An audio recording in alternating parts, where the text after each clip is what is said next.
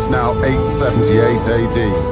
Ragnar Lothbrok lies dead in the Northumbrian dirt. Veins choked with Anglo-Saxon wrath and viper's venom.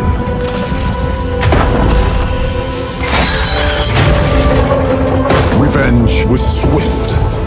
Alfred of Wessex seeks to unite the Isles under